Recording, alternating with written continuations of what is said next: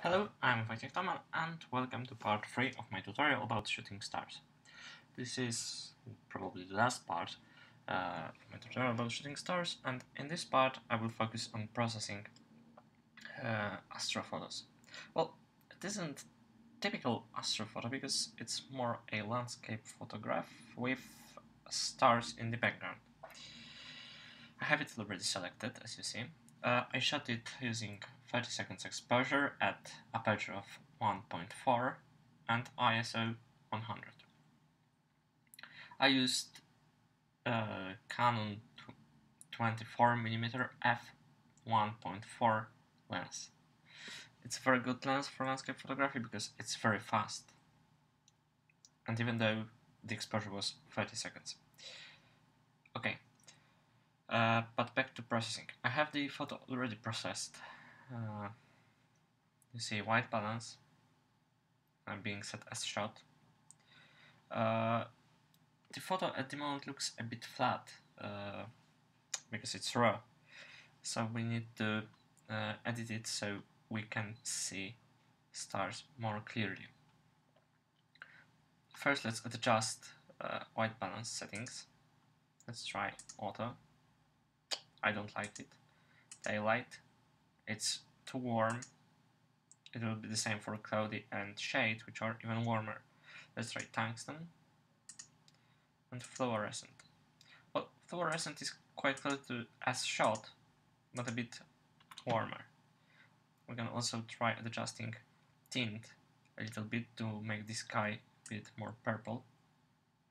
Hmm, okay, it looks better I think. Uh, next thing is to uh, go to profile uh, lens corrections and enable profile uh, corrections in Profile tab. Well, vignetting removal worked, but it made the photo unnaturally bright, so I will reduce the strength of it.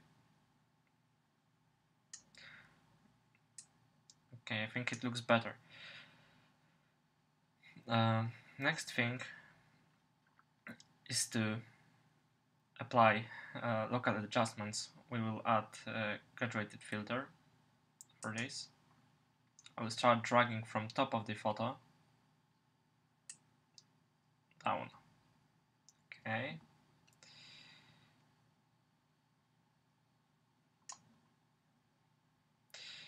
Uh, we'll make the sky even more purple.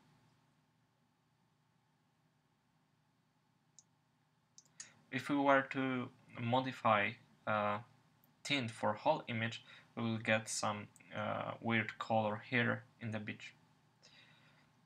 Mm. Let's reset contrast and clarity for now. Oh, you see, it looked much better in fact. Uh, so let's go back to increasing contrast to 100 and clarity also to 100. So let's try changing it. Okay, looks better. Let, let's leave contrast at 43. Next we'll play with highlights to make them a bit warm, uh, brighter, so the stars are uh, well more vivid, more bright. Uh, try playing with shadows a little bit will mm, okay I think this guy looks better.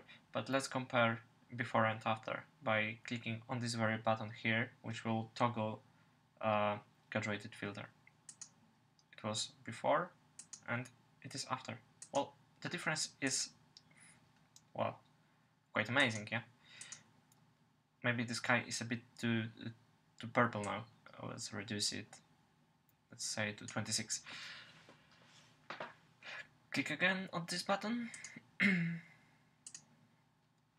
okay. Uh, next thing is to go to Photoshop, uh, where we will edit the photo even further. Well, it doesn't look bad at the moment, uh, frankly speaking, uh, but it can be even more striking. Let's go by clicking, uh, right-clicking on the photo, and going to Edit in, edit in Adobe Photoshop CS. It will load in a, while, uh, in a moment.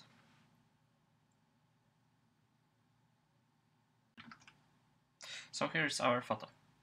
Uh, now let's go back to 100 uh, zoom. Ah, and you can clearly see there's quite a lot of noise in the image. So let's uh, duplicate our layer by clicking Ctrl J or Command J if you're on Mac, or go to Layer, Duplicate Layer, and we will name it Denoised because we'll apply apply uh, denoising.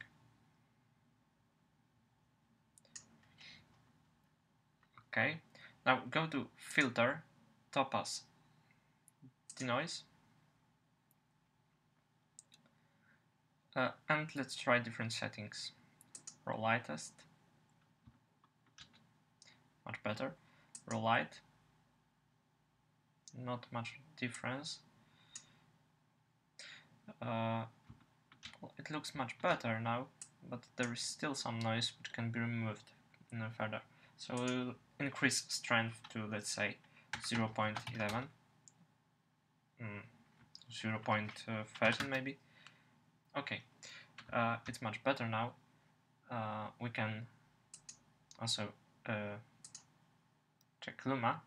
There is still some noise, so we'll increase it to 0.40 and see what happens. 0.50.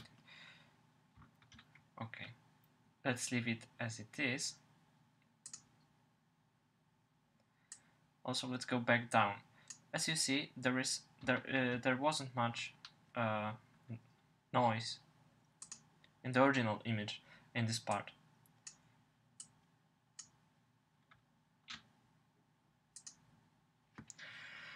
Okay, uh, after clicking OK, the plugin is processing the image, is denoising it.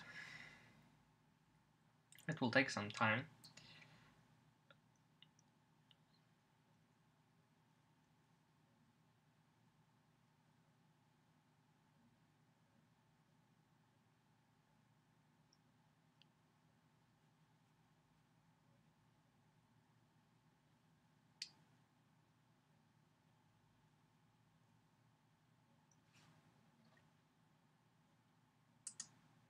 Next, we will uh, duplicate our layer, again with Ctrl J.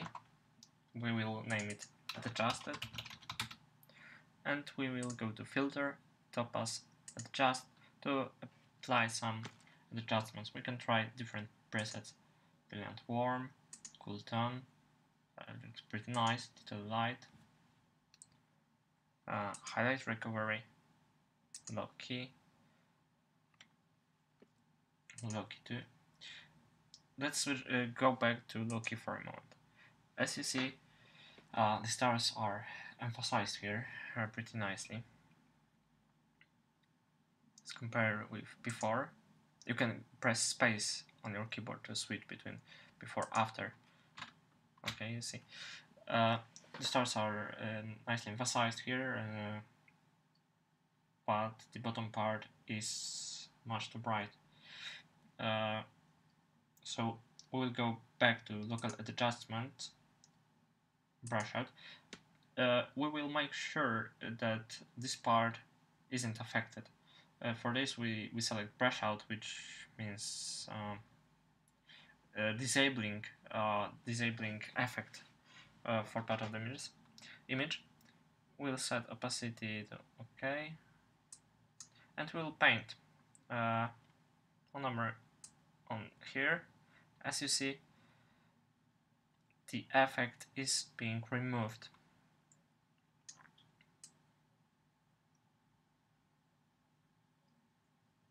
It's very useful. Okay. Let's paint over the clouds here as well because they look very very bright. That's ruining a bit the feeling. Okay it's much better I think. Uh, let's compare with before and after. Maybe a bit more here. Okay.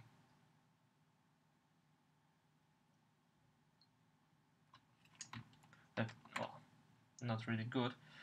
uh, let's reduce opacity to zero. Okay. Let's erase a bit because we painted a bit too much. And brush out again.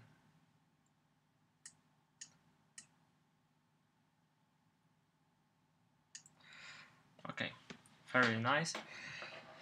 Uh, I will show you also my preset for shooting stars. It's called Astrophoto. And it looks like this. Before, after, before, after. Uh, we'll adjust it a little bit. Mm. Maybe brighter. Not that bright. Uh, protect highlights, uh, reduce it. Okay.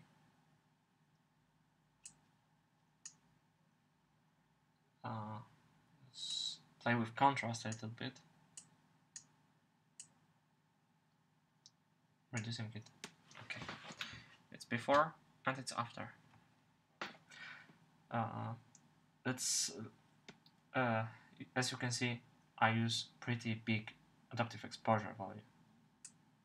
Uh, let's play with other values as well. Well, it looks artificial at this point at 0.82, but when you put it at 0.14, for instance, uh, the stars are hardly visible. So let's go back to zero, uh, 0.55, let's, let's say. You can also play with regions number. Uh, regions number tells how local the adjustment is. If it's at 1, the, the adjustment is uh, globally applied to the image. And when it's 50, the, there are 50 regions across the image. Like 20, uh, 12 uh, value because it often produces quite natural results. Okay, let's go back, uh, go to colors tab now. Uh, let's play with saturation boost, maybe decrease it a little bit, not that much. Oh, let, let's leave it at 1.08. We can also check curve tool to add some global contrast, light contrast, medium contrast. Well, no, it's it's dark. So let's add some uh, light contrast. Let's go to finishing touches now. Uh, warmth is checked. It's at 0 0.05. You can increase it, but it's become too warm for me. Uh, let's decrease it to 0 uh, minus 0 0.12 and let's click OK to apply adjustments.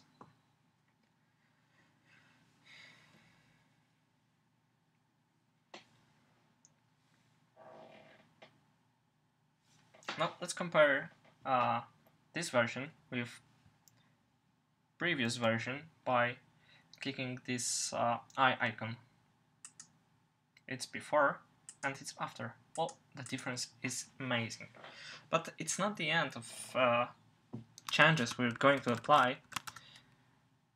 Uh, one more thing is to create a um, dodge and burn layer. Uh, and we will dodge and burn a little bit uh, the stars around here to make them uh, more visible, more 3D, let's say.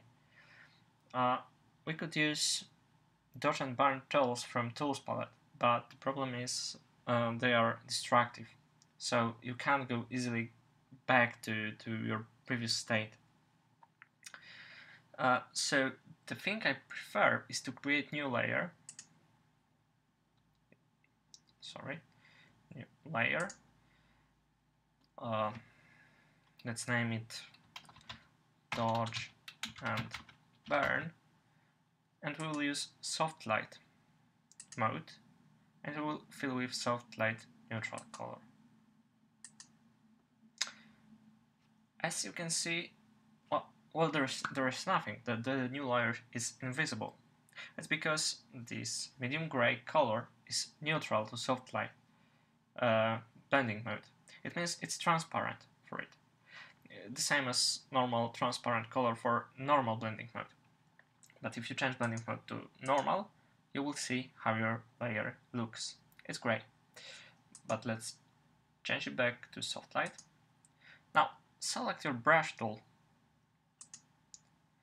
Uh, make sure to use very soft brush. And let's reduce flow to, let's say, 2%. Also, for now, uh, make sure uh, your foreground uh, color is white. Zoom in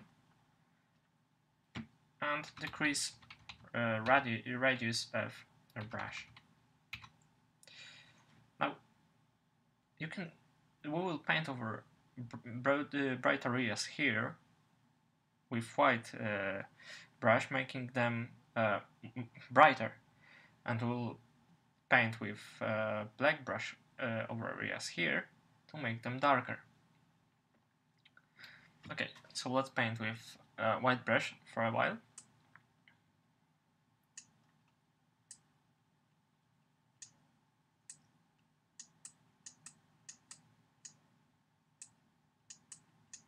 we want to, to make the galaxy, the Milky Way, more visible in the sky. Let's paint over here because there are also some, some part of the galaxy, although not that clearly visible, we'll make them uh, easier to see. Okay, let's zoom out a bit. Uh, painting with this method is easy. Uh, but it uh, takes some time to, to get good results. Uh, okay, now, now paint, switch to black brush and paint here.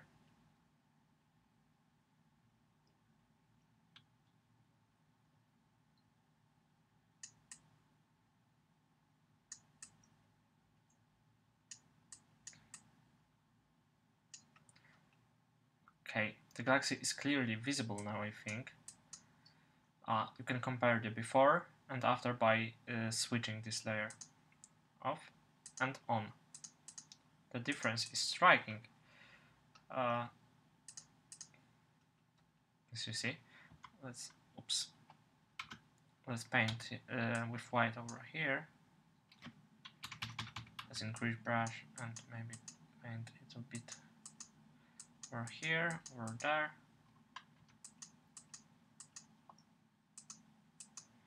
Okay. Uh, okay, that's great. Uh, let's toggle it and back. Quite nice. Uh, one more thing which we can do is to increase, uh, well, to change the hue uh, of the sky. Let's let's apply color balance layer, adjustment layer. Uh, zoom out a little bit so we can see whole image. Uh, and let's play with different settings make it maybe more magenta bluer maybe.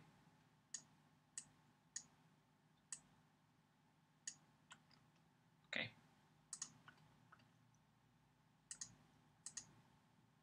You see the difference it's before and it's after uh, the sky is more more blue more purple now uh, than it was before. The colors are uh, cooler. Uh, personally, I like it. Mm. Okay, I think uh, that's all. I hope you liked it. Thank you and until next time.